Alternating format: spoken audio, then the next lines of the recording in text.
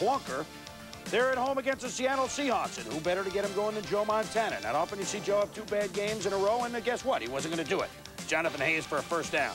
Two plays later, Montana to Hayes, and look at the moves by Hayes. He spins not once, not twice, and he runs for another first down, Tom. Uh, Chris, I don't know if we knew Jonathan Hayes had these moves. Here he goes to the outside, makes the nice spin move, and gives it the double spin move, coming down toward the goal line.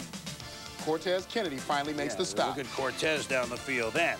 Montana to Willie Davis playing center field. A touchdown, 14 yards, 7 to 3 Chiefs.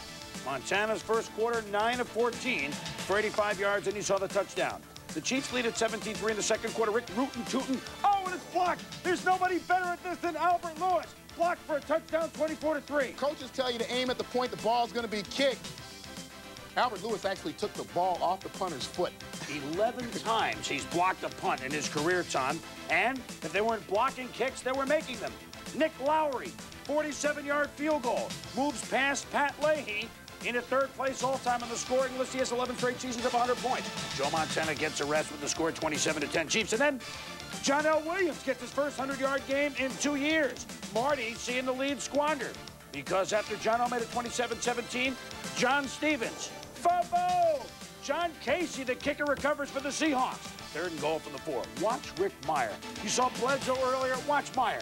Patient and touch.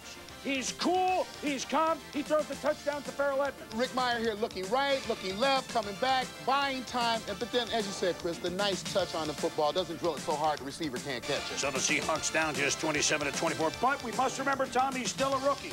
Trying to make something happen. He's stripped by Lonnie K. Marts. There's a blue light special on footballs. And Tim Newton falls on it for the Chiefs. They score a touchdown at the end. And Kansas City goes into the playoffs on a winning note. They'll be at home next week as they beat the Seahawks this week 34-24. The Chiefs up their mark to 11 and 5 and the Seahawks won 6 games. They know they'll be better